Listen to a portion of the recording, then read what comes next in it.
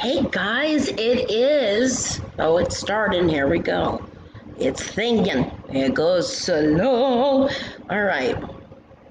I don't even know what's going on. There we go. It's live. Hey guys, it is time for your weekly message from Spirit for the energy of December 14th through December 20th, 2020. We are in really powerful, magical, clear, necessary divine energy right now. I know people are like, that's what Spirit's been saying for six years now. Well, we are in eclipse season. Okay, so lunar solar eclipse. We are going through a lot of big shifts. We've got the grand conjunction, the great conjunction coming up on the 21st. You can see the link below. Uh, David, another channel, and I are actually going to be channeling live together for you guys uh, because so much is changing. You know, this is the year of blessing. Spirit has been saying this, recorded since December 30th of last year. You know, I started bringing in our holding space for the channel. I mean, if you look at all of the stuff Spirit's been saying this whole year, at the end of this year, Spirit's been correct. And yet, we still have such a hard time trusting our own intuition. So, that really is going to be what the energy of this week is every single word in every single language has the potential to mean many different things.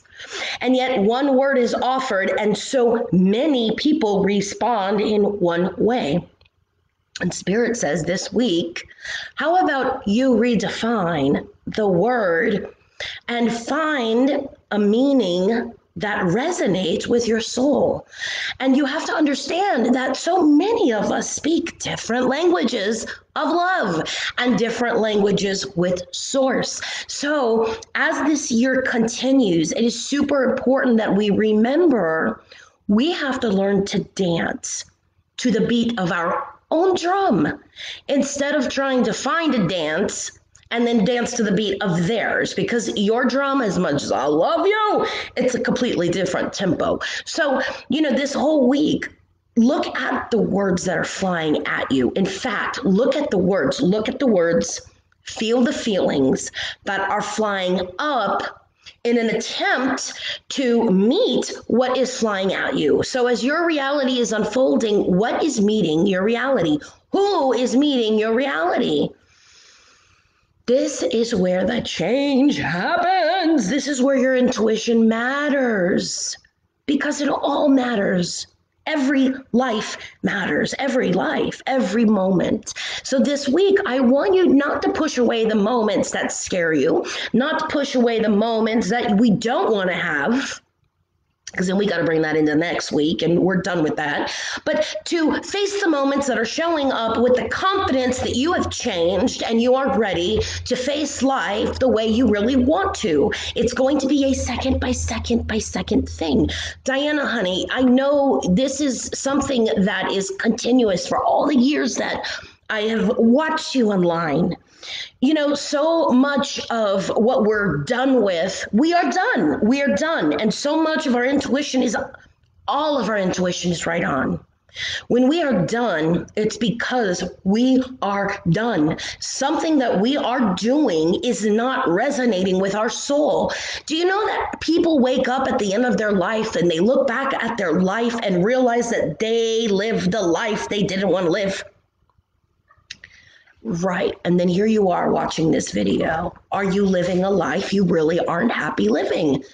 It's not time to check out. It's time to let go and check in. Diana, you got to be willing to do what you've never done. This way, you get what you've never had. And I will tell some of my old souls, how many times have we been done? And then here's five years later, 10 years later, 20,000 lifetimes later. At some point, you have to be done doing what you used to do so that you can start doing what you want to do. You know, fear is so powerful, but it is a master manipulator. You know, I call dark energy the master distractor. So, in any moment where you're looking at or focusing on stuff that doesn't feel good, pay attention. That is not of God. God is never going to say, Hey, you beautiful girl, look over here at all this shit you caused. That's not God. That is the master distractor. And our choice is do we want to respond or do we not? That's what we're done with. We are done being distracted from the life that we came here to live, Diana. This is why I say to you guys when you're on the toilet, breathe. It's how you take your power back. Three breaths, wipe, flush, wash your hands, and go. You know, if we don't start to do the little things that are healthy for us, how are we going to be able to receive the new things that are healthy for us? We're going to keep pushing healthy away because it's all we know how to do. You know, when I say we know how to push healthy away, we've been trained. And that's why we have this awareness that something's wrong. It is wrong. It's way off because it ain't true, because you are so right on. Breathe that in. You are so right on. Oh my God, you mean I do matter? Yeah. You mean spirit's hearing me, God, higher power?